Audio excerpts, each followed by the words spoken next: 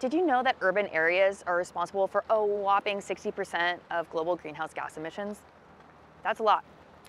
But the good thing is, cities also hold the key to creating solutions for climate change. But first, let's hear a little bit more about the problem. Our planet's life support systems are in trouble. From the air we breathe to the water we drink, things are looking pretty grim. And guess what's making it worse? Urbanization. Cities are growing at an insane pace. By 2050, they could be triple the size they are now.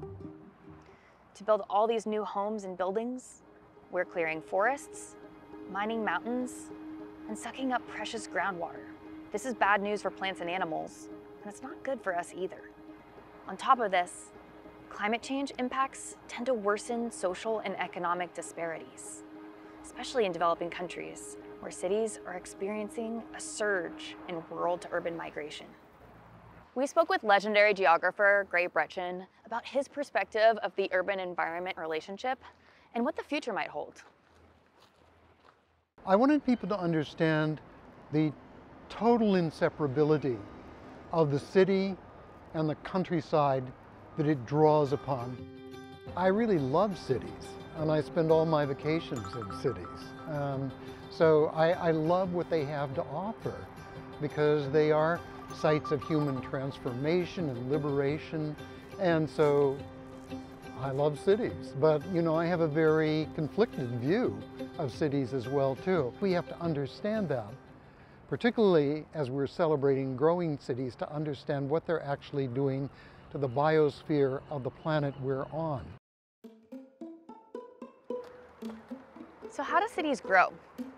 Typically, urban areas expand by pulling resources in from the surrounding environment, putting out waste. As you can imagine, it's a pretty extractive process. It doesn't need to be that way.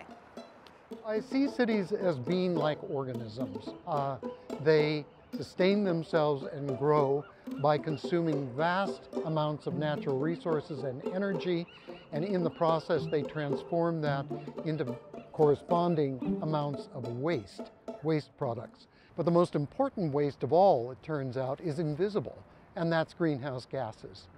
Cities produce vast amounts of greenhouse gases in the process of using up fossil fuels, but it's invisible. The good thing is that cities have an immense opportunity to lead widespread climate action. First and foremost is engaging city planners and community leaders to include vulnerable populations in climate solutions. Examples include investing in green infrastructure, supporting low carbon public transportation, and expanding urban parks and gardens. Urban areas by the coast can also use Mother Nature to prevent flooding.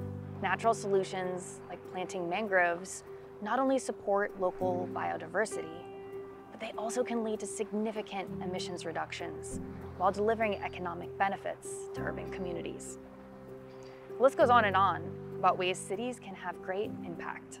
You know, um, when I was growing up, um, the bay had a notorious stink. Uh, we called it the bay smell, you know, and I could smell it from four miles away because we were dumping all of our raw sewage and garbage and we didn't think anything about that. Until about the time that Rachel Carson wrote Silent Spring in 1962, which was a sea change because people began thinking then about what we were doing to harm our environment and the planet itself. And because of that, we got things like the Clean Water Act, the Clean Air Act, the uh, Endangered Species Act, and, and the world has become in some ways a better place. As urban areas grow, there's an incredible opportunity to shift from an extractive to symbiotic relationship with nature. Investing in climate-forward adaptations and local solutions hold the key to helping our cities thrive in a changing world. Until next time, happy exploring.